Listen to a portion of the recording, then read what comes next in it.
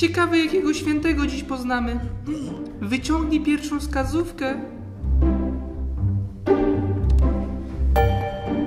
O, to mapa! Pamiętasz jaki to był kontynent? Mm, to przecież Azja.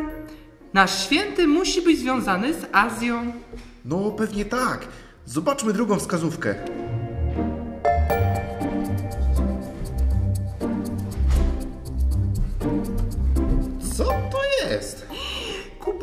Czy to jest... Tak, to musi być stuła, symbol kapłaństwa. Ale Teresko, no nie wiem, ta stuła jest jakaś taka dziwna. Bo to jest stuła misyjna. Na misjach takich używają. A skąd ty to wiesz? Mm, no bo czytałam ostatnio taką książkę o misjach. I tam były różne zdjęcia. I był też tam taki jeden ksiądz takiej właśnie dziwnej stule. Pewnie masz rację. Czyli nasz święty nie dość, że jest związany z Azją, to był też misjonarzem. No dobrze, to pokaż, co jest następne.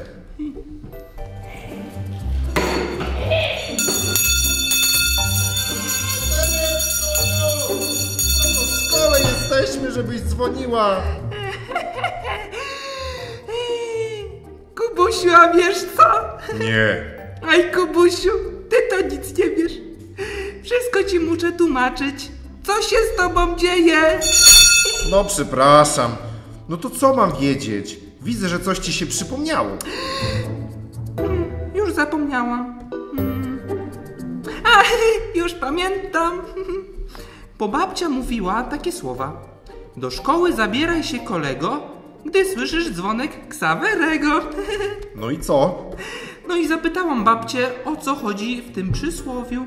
I ona mi powiedziała, że święty Franciszek Ksawery, y, kiedy był misjonarzem w Indiach, to miał taki zwyczaj, że na lekcje religii wzywał dzieci właśnie dzwonem.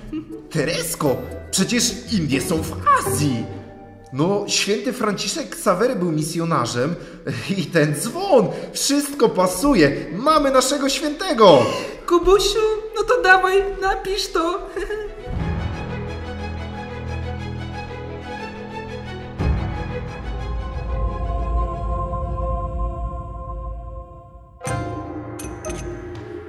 Święty Franciszek Ksawery urodził się w Hiszpanii w bardzo bogatej rodzinie w 1506 roku.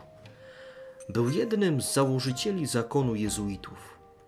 Gdy miał 35 lat, wypłynął na misję do Azji, gdzie podróżował po Indiach i Dalekim Wschodzie. Dotarł nawet do Japonii i Chin. W trakcie swoich misyjnych podróży sypiał na gołej ziemi, a żywił się ryżem i wodą.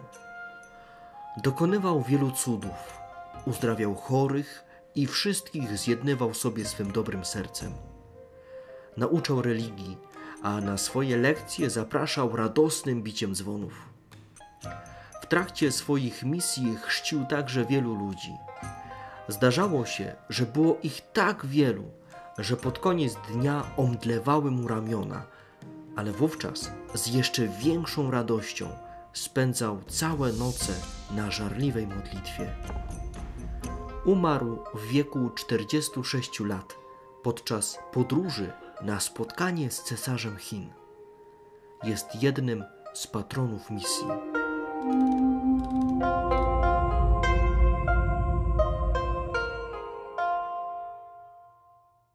Wow, ale twardy gość!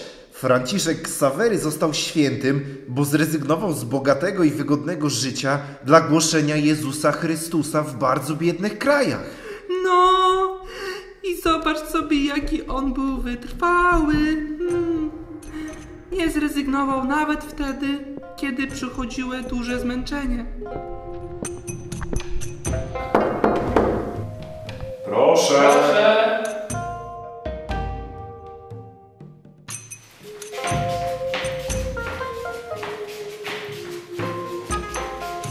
Dzień Boże!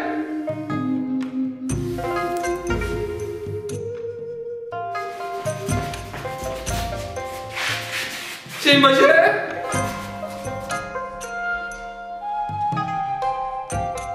Drogie dzieci, Gratuluję rozwiązania kolejnej zagadki. Poznałyście świętego, który wszedł do nieba dzięki wyrzeczeniom i wytrwałości. Pamiętajcie, że tak samo i wy, przez wytrwałość w wypełnianiu przykazań Bożych, możecie być świętymi. PS. Zróbcie z tą kartką co trzeba. Thank you.